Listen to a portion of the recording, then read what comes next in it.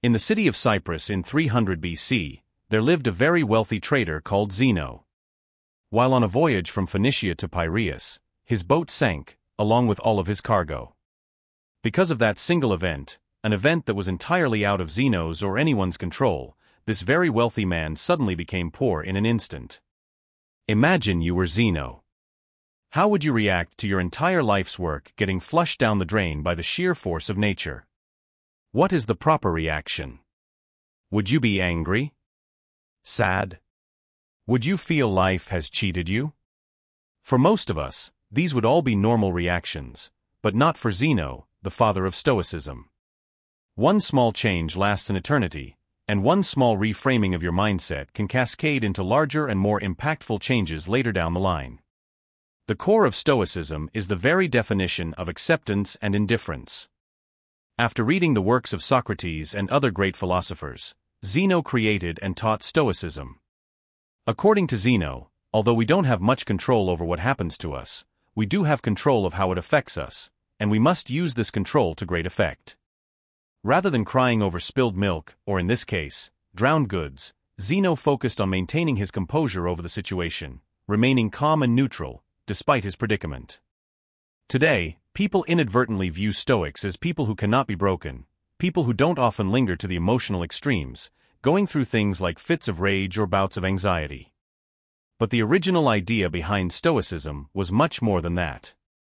Rather than just a way to describe people who are unemotional, Stoicism was a way to view, describe, and understand the world. It was a way of life, and that way of life has lasted for centuries.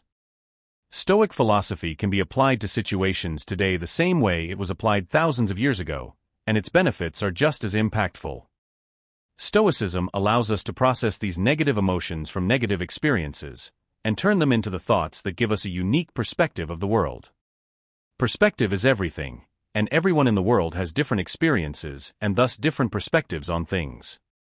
Since the Stoics gathered, discussed, and taught philosophy in a public place, their general philosophy was widely known.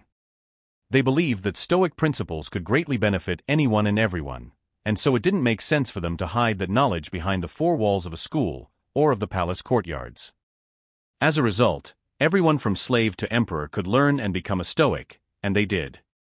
Some of the world's most notable Stoics include Epictetus, which translates to he acquired a as he was once owned as a slave, Seneca, who was a well-renowned statesman, and Marcus Aurelius, a Roman emperor, and one of the most powerful men to have ever lived.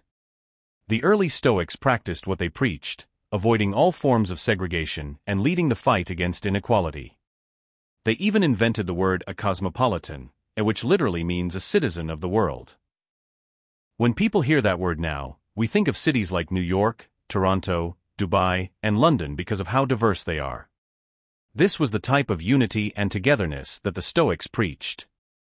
At the time of Stoicism's foundation, women weren't allowed to pursue philosophy, but Stoics disagreed with that completely. Musonius Rufus, Epictetus' teacher, once said, It is not men alone who possess eagerness and a natural inclination towards virtue, but women also. Women are pleased no less than men by noble and just deeds, and reject the opposite of such actions. Since that is so, why is it appropriate for men to seek out and examine how they might live well, that is, to practice philosophy, but not women. Even at a time when it wasn't popular, women were allowed to freely learn about Stoicism and become Stoics themselves. So why do so many people adopt Stoicism as a way of life? In a world full of unexpected turns of events, our emotions can tend to get in the way of things. In reality, we don't really get sad because bad things happen to us, we get sad because unexpected bad things happen to us. Rain is a good thing. It helps to water our plants, provides water for livestock, and keeps the temperature cool and humid. But the truth is, when that dark cloud catches you outside without an umbrella, it's never a good experience. So why don't we start crying once it starts to rain? It's because although the situation is bad, we've learned to expect rain. It's something that is unavoidable, we can't control the weather, although it sucks, the rain passes and the light returns. Stoicism teaches us that in the same way, we should expect that everything bad that can happen will happen. Picture the worst outcome, and be content knowing it could happen. One of the Stoic exercises is known as a voluntary discomfort, an exercise aimed at increasing feelings of gratitude. Sleep on the floor of your kitchen, take cold showers when you normally take hot ones, eat nothing but potatoes for a few days, things like this. This exercise helps you to understand that no matter how hard it gets, you'll still survive and potentially thrive if your mindset is right. By being able to withstand these uncomfortable situations, we indirectly prepare our mental for future misfortunes.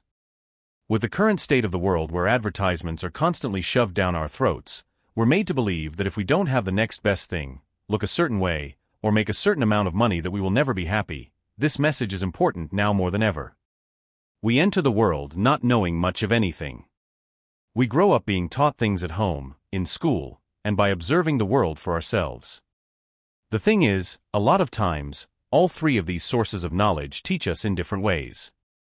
The question is, do we need to internalize all of this knowledge? If we do, we could unknowingly be setting unrealistic expectations for our lives, leaving us ultimately disappointed and unsatisfied in the end. That's no way to live. We should instead focus on improving ourselves, for ourselves. We should do things for ourselves, and only for that reason. Attaching any external hope or secondary attachments to the actions we take almost always lead to disappointment. Most of the time, we end up trying to fill that emptiness with external things. Blowing all your money on a fancy car, a house, or even starting a family. Sometimes we do all of these things for their external value, and not their internal value. But Stoicism teaches that, if you approach life this way, you place your happiness in the hands of external forces, forces that can always fail. Cars almost always break down, natural disasters wipe away entire cities, and divorce rates climb higher and higher each year. But even the free things in life come at a cost. The cost of space, both physical and mental. As Seneca once wrote, learning to live with less will create space in your life for the things that truly matter to you. Instead, we must place our happiness on our intrinsic value as humans and on nothing we have or can physically acquire. We must choose to do our best to keep a cool head, regardless of what life throws at us. Because regardless of what it is we want, at the end of the day, we don't have any control over the majority of things that happen to us, but we do have all the control over how we react to those things. That is the dichotomy of control, the most important principle in Stoic philosophy. In the words of Epictetus, the chief task in life is simply this to identify and separate matters so that I can say clearly to myself which are externals not under my control, and which have to do with the choices I actually control. Stoics teach that we must learn to separate what we can control from what we cannot control. We need to determine our value not from things we can't control, but from the things we can. Striving towards goals is a good trait, but breaking down when those things don't go your way is, in a Stoic's point of view, useless. Making YouTube videos is, well, a lot easier than being a Roman emperor, but it can still prove to be challenging sometimes. First, you must form your idea, which takes forever, then research that idea, scrap it because it sucks, start over, script the video, create the video, edit it, make the thumbnail, title, and everything else before you hit upload. Everything up until the point where you click upload is all up to you. However, once you click the upload button, the power shifts to the YouTube algorithm. Still, a lot of people judge the success of their YouTube channel or Instagram account based on how many views and subscribers or followers that they have, metrics of which, for the most part, are beyond your control. Stoics teach that instead, you should judge the success of your work based on the amount of effort you put in, and not the outcome of your external hopes. Trust the process. Living with less means unbinding yourself from the societal handcuffs that you've essentially put yourself into. Think about a person who has been working hard at their job for the past six months. He now feels he deserves a promotion, and so he walks up to his boss with his performance report. The boss says thanks, doesn't grant him the promotion, and he goes home thinking he must suck at his job. He doesn't consider that the boss might have simply woken up angry, someone else might have been better qualified at that time, or maybe the company was just losing money and just couldn't afford it. He doesn't know the reason, but he's still upset. If he simply placed his value on the quality of the performance report he turned in, kept doing what he was doing to earn the promotion he wanted, he could have been much happier overall. With the right perspective, his goal wouldn't have been diminished, but just postponed. It's this reframing of your mindset that is crucial. A true Stoic does not view their successes based on the financial gain of their ventures, but is comforted by the fact that they can live a comfortable life without all the things money can buy. There are the four main virtues of Stoicism wisdom, courage, temperance, and justice. Wisdom is being able to separate between what is internal and what is external, and the ability to choose our reaction to the things that happen to us. As Viktor Frankl said, a between stimulus and response, there is a space. In that space is our power to choose our response. Courage two words, a persist and resist. Temperance or moderation is what I just did there, doing more with less, saying more with fewer words. While Jeff Bezos and Elon Musk are fighting at the top of Forbes' list, Stoics believe that the limit of wealth should simply be having what is essential, and then having what is enough. Justice is the most important of all the virtues. It instructs that no one should do harm to another because we were all born for each other, to do good to one another, and not to ourselves. Nelson Mandela was one of the most famous African leaders in the world. While he was fighting against apartheid, he got sentenced to life imprisonment where he stayed for 27 years before finally being released. When he was released from prison, he was elected president of South Africa, and thus, many people thought he was going to brutally punish all the people that had anything to do with apartheid or his imprisonment, but of course he did not. Throughout his time in prison, Mandela read the works of Marcus Aurelius and learned many of the core values of Stoicism, all of which he practiced throughout his life.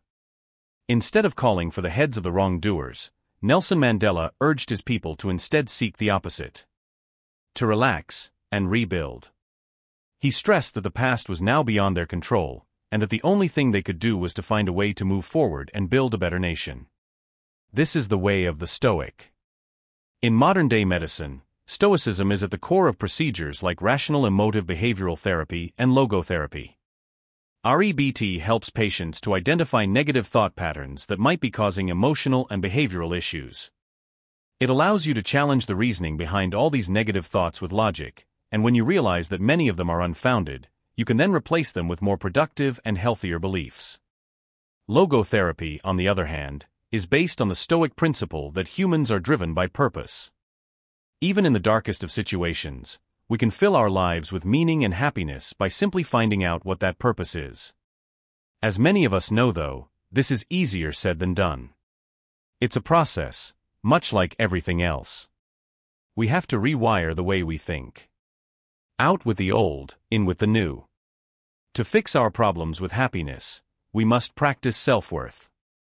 By redirecting our definition of value to the things that we can control, we can stop getting fixated on the things that we cannot control, and overall, we can lead a much happier and more fulfilling life. Stoicism helps us steer through past and present storms into calmer and more peaceful waters.